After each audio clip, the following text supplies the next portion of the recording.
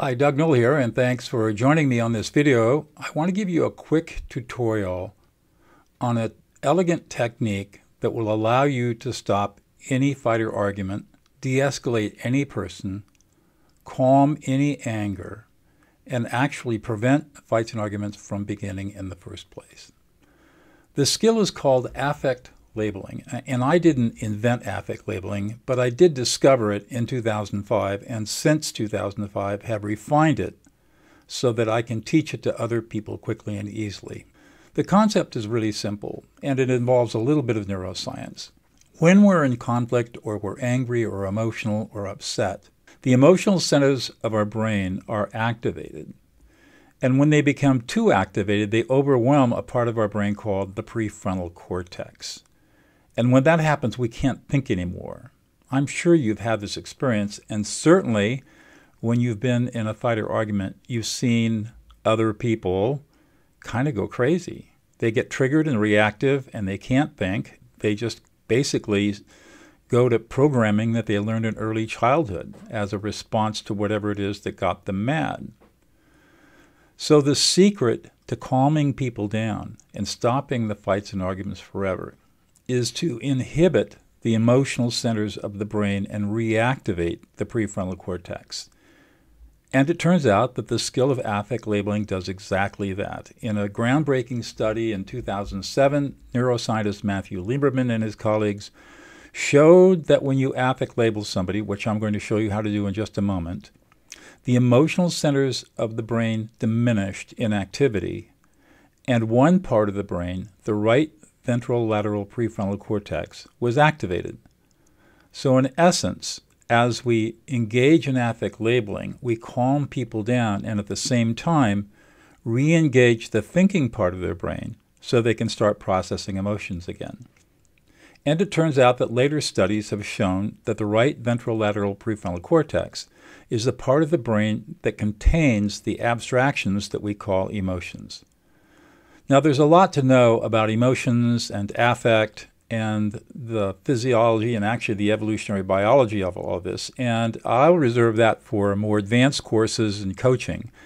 You don't need to know all the science right now to be able to do the practice, but just take it on faith, if you don't mind, that this practice is based on hard neuroscience, not on pop psychology. And I have deployed this practice in places as diverse as maximum security prisons and at the Congressional Budget Office, where I've trained senior analysts how to de escalate members of Congress and their staff.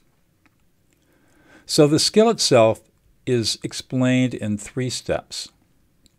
Step number one ignore the words.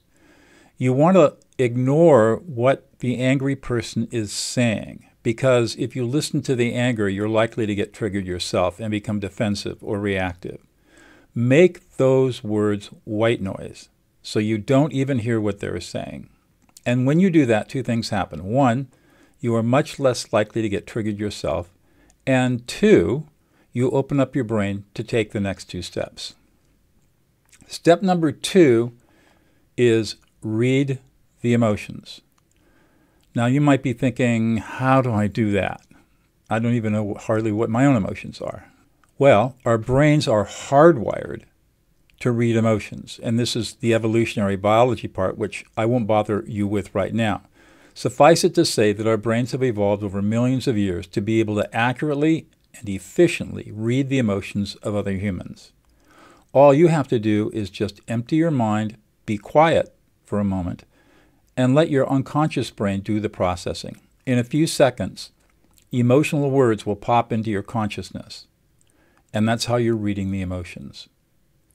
And that gets you to the third step, which is to reflect the emotions back with a you statement, not an I statement and no questions.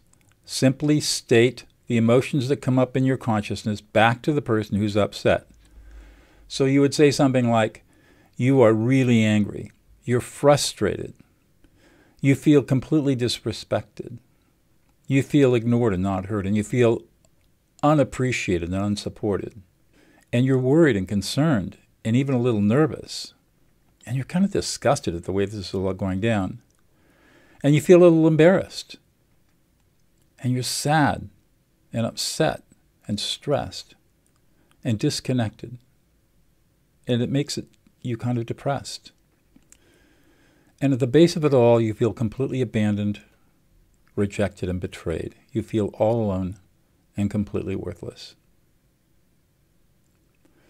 Now, take a moment and think about how that landed with you.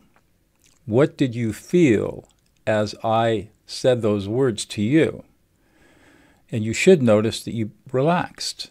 And you said, Yeah, yeah, yeah. Even though right now you're not upset, you were feeling the relaxation response occurring from the affect labeling affecting the emotional centers of your brain. That's how powerful it is. So the three steps are ignore the words, read the emotions, reflect the emotions with a you statement. Don't ask questions. Don't use an I statement. Active listening does not work. It has never worked. It never will work. Forget it. If you took active listening classes, forget everything you ever learned because it does not work. Likewise, there are other techniques like nonviolent communication. They do not work. The only thing that has been proven in neuroscience to work is affect labeling as I've described it. Here's an example of affect labeling. This is a demonstration between myself and my wife. It, it's a role play, but you'll see exactly what affect labeling looks like. So, Alea, what's going on? Well, I was actually in a meeting today with a couple people, but there were two people in particular that were so incredibly disrespectful. You were really disrespected. To- totally. It was it was so I mean beyond rude. And that kind of pisses you off. I mean it, it beyond I just feel so so frustrated. So I'm so frustrated, frustrated that and not heard and disrespected and that they're not even aware of how disrespectful they are. And I'm their senior. I'm the one that's actually overseeing this and getting them to do what they need to be doing. And you're just kind of astounded that these people are. I'm blown away. Blown away by the yeah. fact that these people are so disrespectful that they don't listen to you, they talk over you, you don't feel heard, and it's you're anxious about it. I'm angry. And you're really angry. I'm really angry about it. It just makes me want to like, ugh, not do, not do this job. Get out. So, I mean, you're so angry you about had it. Yeah. I mean, if the money wasn't as good as it is, then it wouldn't be worth it. But it's not even worth. I mean, like I toss and turn. I my stomach it clenches. I have heartburn. Like so you have a lot of upset and stress over this. A lot of anxiety. Totally, totally. Just these two people. Like the, every single meeting, they do this. They pull this thing and these people are just driving you nuts. It's unbelievable. And your, your anxiety level is roof. Yeah. And you don't know what to do with yourself. Yeah, yeah. You're pretty confused. Yeah. And no matter what you try to do, it doesn't seem to work. No, nothing, nothing works. It, whatever I do, it makes it worse. And nothing.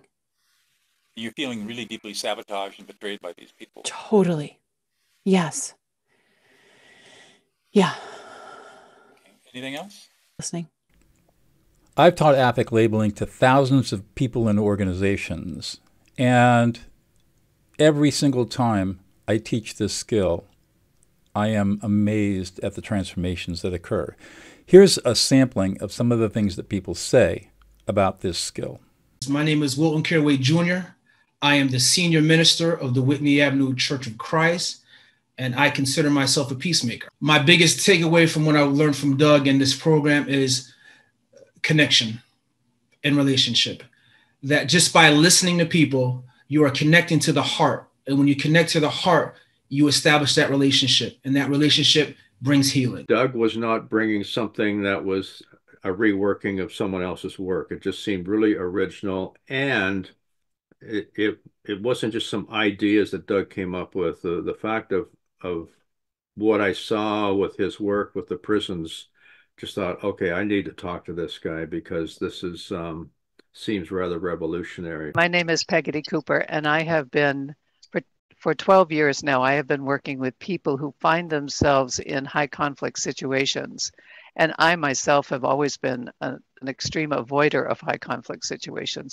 I have found that I am now fearless in facing people who might confront me.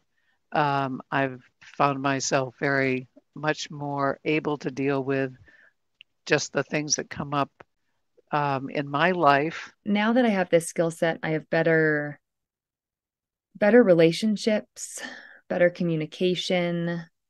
I feel more calm, confident, and I think that that then ripples into everything that I do. So, in many ways, it's really helped every aspect of my life because now, if I'm upset, if I'm triggered, I can validate and affect label myself. If I'm with friends, family, colleagues, and something happens, I can validate them. So it's really improved, every, I would say, every area of my life. And the number of kids that I see on a daily basis uh, in school and can bring them down to calm and to more peace and to more problem solving and then be able to return to their original classrooms and be more productive. It's it's life changing for them too. In the face of any sort of strife it's we all feel really insecure and awkward and or most of us and uncomfortable and really unsafe. Learning this skill it's so empowering because you can be more aware of how you're feeling. Then you get to hold a safe space for someone else, which then also really protects you. It really is a game changer for making people feel safe. Me, I think it shook Lindsay, but I got to say that in this moment of survival, if we didn't have your tools and we didn't utilize affect labeling, there would have been a murder. She'd have killed me or I'd have killed her. Thanks for watching this video and stay tuned because you'll be receiving emails inviting you into de-escalation dojos, courses, workshops, community groups. You're, you're part of an online community dedicated to bringing peace and connection back into this chaotic world of ours. Stay tuned, and I'll look forward to talking with you soon.